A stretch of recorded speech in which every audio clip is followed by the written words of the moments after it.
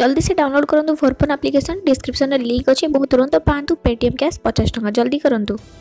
ପାଗରେ ଆସିବ ପରିବର୍ତ୍ତନ। ଚଉଦ ତାରିଖରୁ ବର୍ଷାର ସମ୍ଭାବନା।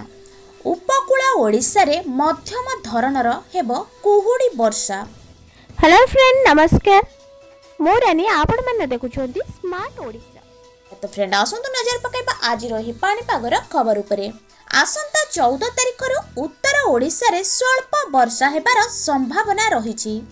ମୟୂରଭଞ୍ଜ ଓ କେନ୍ଦୁଝର ଜିଲ୍ଲାର ଗୋଟିଏ ଦୁଇଟି ସ୍ଥାନରେ ବର୍ଷା ହେବ ବୋଲି ପାଣିପାଗ ବିଶେଷଜ୍ଞ ପୂର୍ବାନୁମାନ କରିଛନ୍ତି।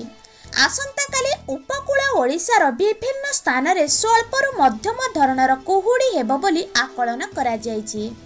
ଭୁବନେଶ୍ୱର ଆଞ୍ଚଳିକ ପାଣିପାଗ କେନ୍ଦ୍ର ନିର୍ଦ୍ଦେଶକ ଏଚ୍ ଆର୍ ବିଶ୍ୱାସ ପୂର୍ବାନୁମାନ କରିଛନ୍ତି। ଆସନ୍ତାକାଲି ପାଗ ଶୁଖିଲା ରହିବ। ଉପକୂଳ ଓଡ଼ିଶାର ବିଭିନ୍ନ ସ୍ଥାନରେ ସ୍ୱଳ୍ପରୁ ମଧ୍ୟମ ଧରଣର କୁହୁଡ଼ି ରହିବ। ସେହିପରି ଅନୁଗୁଳ ଢେଙ୍କାନାଳ ସୁନ୍ଦରଗଡ଼ କେଉଁଝର କନ୍ଧମାଳ କଳାହାଣ୍ଡି ଓ କୋରାପୁଟରେ ମଧ୍ୟ ଆସନ୍ତା ଦୁଇରୁ ତିନି ଦିନ ପର୍ଯ୍ୟନ୍ତ କୁହୁଡ଼ି ରହିବ ବୋଲି ଶ୍ରୀ ବିଶ୍ୱାସ ଆକଳନ କରିଛନ୍ତି। ଶନିବାରଠାରୁ ସୁନ୍ଦରଗଡ଼ କେଉଁଝର ମୟୂରଭଞ୍ଜ ଆଦି ଜିଲ୍ଲାରେ ସ୍ୱଳ୍ପରୁ ମଧ୍ୟମ ଧରଣର ବର୍ଷା ହେବ।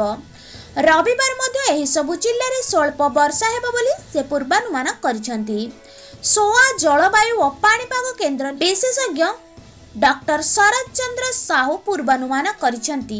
ଆସନ୍ତାକାଲିଠୁ ଆଭ୍ୟନ୍ତରୀଣ ଓଡ଼ିଶାର କେତେକ ସ୍ଥାନରେ ସ୍ୱଳ୍ପ ବର୍ଷା ହେବ।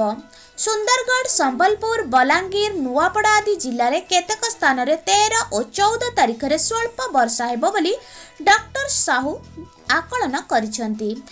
ମାତ୍ର ଉପକୂଳ ଓଡ଼ିଶାରେ ଆସନ୍ତାକାଲି ସ୍ୱଳ୍ପରୁ ମଧ୍ୟମ ଧରଣର କୁହୁଡ଼ି ହେବ ବୋଲି ସେ ପୂର୍ବାନୁମାନ କରିଛନ୍ତି। ଗୁରୁବାର ଦିନ ଦାରିଙ୍ଗବାଡ଼ିରେ ସର୍ବନିମ୍ନ ତାପମାତ୍ରା ଦଶ ଡିଗ୍ରୀ ସେଲସିୟସ୍ ପହଞ୍ଚିଥିବା ବେଳେ ଫୁଲବାଣୀ ଓ ଅନୁଗୁଳରେ ଏଗାର ଡିଗ୍ରୀ ସୋନପୁରରେ ଏଗାର ଦଶମିକ ଦୁଇ ଡିଗ୍ରୀ ଟିଟଲାଗଡ଼ରେ ଏଗାର ଦଶମିକ ଛଅ ଡିଗ୍ରୀ ସୁନ୍ଦରଗଡ଼ରେ ବାର ଦଶମିକ ପାଞ୍ଚ ଡିଗ୍ରୀ ଓ କୋରାପୁଟରେ ତେର ଡିଗ୍ରୀ ସେଲସିୟସ୍ରେ ପହଞ୍ଚିଥିଲା। ତ ଆସନ୍ତା ଦୁଇ ଦିନ ବର୍ଷା ହେବା ପରେ ରାଜ୍ୟର ତାପମାତ୍ରା ଆହୁରି କମିବ ବୋଲି ଆଶଙ୍କା କରାଯାଇଛି। ତ ଫ୍ରେଣ୍ଡ ଏହି ପାଣିପାଗର ଆଉ କୌଣସି ନୂଆ ଅପଡେଟ୍ ଆସିଲେ ମୁଁ ଆପଣମାନଙ୍କୁ ନିଶ୍ଚିତ ଜଣାଇବି। ତ ଫ୍ରେଣ୍ଡ ଦେଖା ହେବ ଆଉ କ'ଣ ନୂଆ ଭିଡ଼ିଓରେ